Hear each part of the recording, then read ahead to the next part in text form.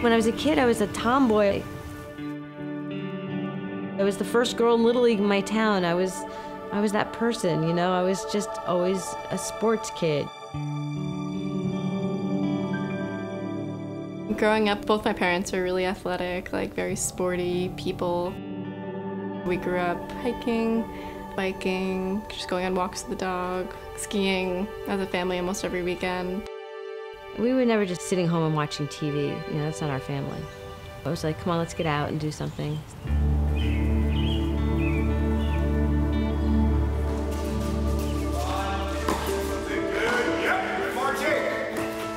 I played competitive tennis in college, and it's just always been a part of who I am as an athlete. She's playing tennis all the time, and her knee was hurting her, back was hurting her, shoulder, elbow, because of like sports injuries, but I didn't think anything was wrong. It was kind of started to be a joke because it was like among my tennis. Oh, Margie's injured again. Oh, another surgery. I was like that bionic woman. I've had seven orthopedic surgeries a foot, a knee, an elbow, two wrists. Finally, I went to an orthopedic surgeon and he realized that all my injuries were on the left side. Also, I had just a tiny bit of a tremor and I mentioned it to him. And so I think it made him think, okay, tremor, injuries on one side, go get a neurological exam. And so I'm like, oh, it's me overdoing it again. That's why I'm tremoring, because my arm was tired. But I also wondered a little bit, kind of quietly, whether it was Parkinson's. Once or twice a month, maybe, when I've been playing, I've been falling.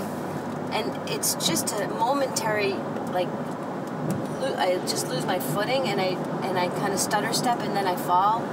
Like all of a sudden, I'm thinking, oh, I'm fine, I'm fine, and everyone goes like, oh my god, oh my god. And I'm like, no, I'm fine, don't worry, just keep going. Just, I don't want attention drawn to me because for me, if it doesn't feel good, it's embarrassing to fall. It's like I just kind of wish it didn't happen,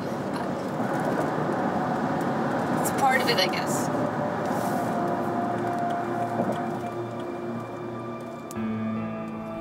This one hasn't changed one bit. No. No. Oh my god, look at that. That was the when I got diagnosed, I was kind of in shock. Because I was young. I was just a month shy of turning 49, so I was 48.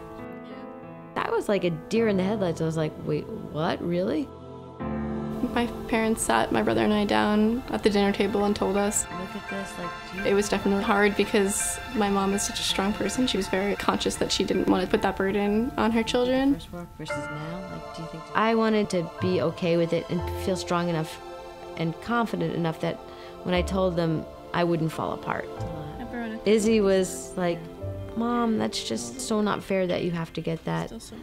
And Max, he's a different kid, and he's like, "Okay, mom, really? Is that, I, it's hard to believe, but if if that's really true, can we make jokes about it? You know, like he was being the funny guy, but that's how he was dealing with it. And I, my kids are very different from one another, so I I I understood that.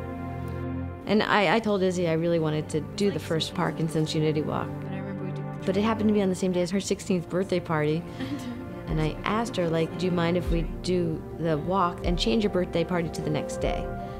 And she said, Well, why don't we just make my birthday party where we walk for you, me and my friends? I did not expect that. It was the first year, and my mom had only been diagnosed a few weeks before. It seemed like a relief for maybe at the time what I needed. I had a very supportive group of friends that were willing to to come out for that.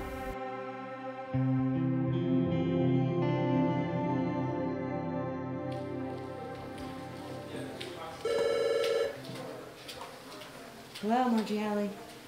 You can have this disease and, and just be really normal.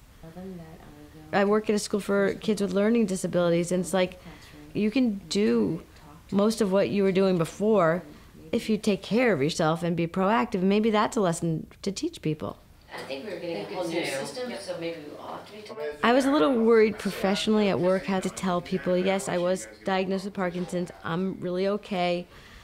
But it took a while for me to feel comfortable enough to tell the whole staff as a group a lot of people were like silent. They didn't know what to say. And I told them, if you have any questions, ask me. Just ask me. It's okay. After I was diagnosed by the neurologist, I was able to find a really good movement disorder specialist who was well suited for me. Hello. Hey, how are you? Good to see you. He gave me a lot of confidence and reassurance that I was going to be okay. Now touch your nose, touch my finger, back and forth without moving your shoulder, just move your arm. Margie has a Parkinson for about 10 years, and she's doing now well. She's doing extraordinarily well. Now with the right hand, you go one, two, three, four. She's really an outlier with a complex process of acceptance and fighting. If you can do two or more forms of exercise, it's probably better. because you challenge the brain in different ways. So like I do boxing, I do agility stuff, I do. Margie asked me, how much should I do? And my kind of default answer, as much as you can. But as much as you can for Margie is a different meaning than for most people. Like that? Yeah, so try to resist the floor. So don't just fall to the floor. Yeah. We know that consistent exercise has immediate benefit. But what's much more important is a sustained effect over time. So much so that we know that exercise can delay disease progression. And we truly don't have any other way to delay disease progression. I have found it makes me feel better. I think the endorphins are going and it's creating new neural pathways. I really feel that this is what I gotta do to feel good. I'm gonna do it. I'm gonna keep doing it as much as I can and as long as I can. I feel like I have a job at work and then I have a second job, which is to work out. I just have to, not a choice. Okay. Does that feel a little too tight or anything? No, it's good. Okay, great. I've been a research subject for Columbia Teachers College Neuro Rehab Lab, and their whole motivation and goal is to show that exercise really slows down the progression of neurodegenerative diseases. I want you to walk through the orange doors before they close. Okay. Go ahead. Margie is someone who, from the get go, has just shown tremendous determination and has really, I think, encapsulated a lot of the aspects of physical activity and exercise that we promote. We also have these measures of the balance that we can look at and see how that changes over time or I really think she's a, a living example of how How beneficial these kinds of interventions are in combination with pharmacological interventions. When I say go, I want you to pick up a coin with your left, transfer it to your right, and put them into the bank in order of highest value to lowest value. And while you're doing that, I want you to recite every other letter of the alphabet, starting with the letter A. The symptoms of Parkinson's that I've felt over the years, everything's a little harder. Okay, fingertips on the table. Go. A, C, E. When you're doing your daily, ca- you're buttoning your shirt, you're you're shampooing your hair. It's hard to get my hands moving, my fine motor. I. Emotionally, I'm more anxious. I think. A lot of people get depressed. I'm like an upbeat person. I've never really been a depressed person, so I don't go in that direction. I go toward anxiety, and and I think I am more anxious than I was before. Let your head start. That's it, neck, shoulders. Beautiful. So you can feel that movement on your ankles, right? Yeah. There are more things than just exercise that go into, I think, that's helped me be okay. You're going to let your eyes go to the left. Beautiful. Now, hold on. One of them is the Alexander technique. People with Parkinson's tend to have a stooped over posture, and so they're not quite aware of their breath and the way they move and the way they walk. And having Alexander lessons does help. Thinking about your whole torso lengthening and widening. It's lessons, but it's also physically touching my body in ways that made me feel like like it just let go. Everything let go. And so then feelings let go. I mean, it's just I guess I start thinking about like the reality of the disease kicking in. Right. Like, Right. yeah, like, will I be able to play? So it's like funny when I'm on the table thinking about it, it comes out. It's very real. It's really got to be hard to feel yourself not being able to do what you've always been able to do so Yeah. easily. Yeah. It does help. Like it calms my whole body down. It gets the feelings out, you know? the emotions that kind of stick up, like inside. It's a combination of that plus breathing, you know, taking deep breaths. And, and I, I like learned how to do that on my own. But that's been a process. People get really like worried about me and I'm like, no, I'm fine, I'm fine. Just stop, I'm fine, you know. And I gotta keep going. Yes. So, I mean, that's my biggest worry. Rosie! I think my positivity like comes from support. And it comes from a network. It's not just my family. It's my friends. It's my tennis friends. It's my work friends. It's my friends with Parkinson's playing ping pong. Ping Pong Parkinson's started out for me as just a fun place to play ping pong with people that might have Parkinson's, and it's become a community. It's become a support group without trying to be. It's such a good feeling. I feel really happy when I go there.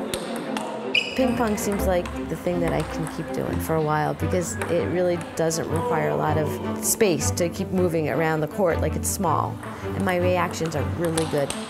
I think we're the only place in the world that has an organized weekly ping pong Parkinson's program.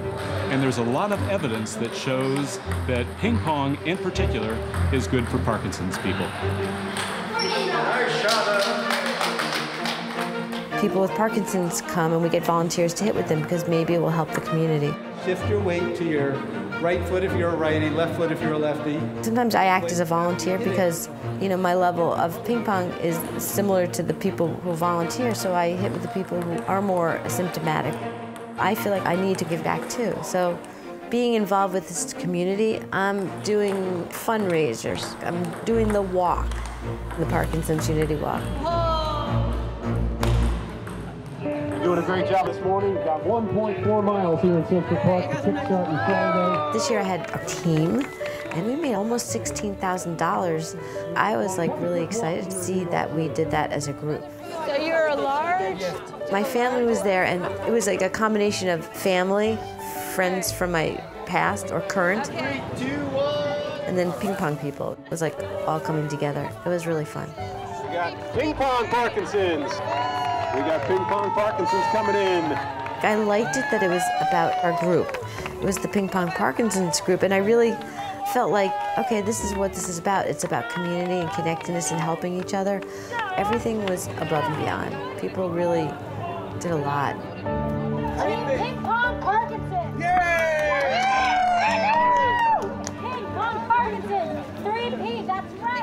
I just love having everyone together. It's so worth it, and it really makes my heart warm, you know, that I have such support. And that's really what it means to me, is support.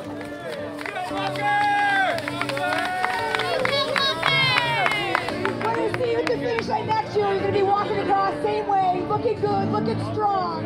You got this team behind you. You got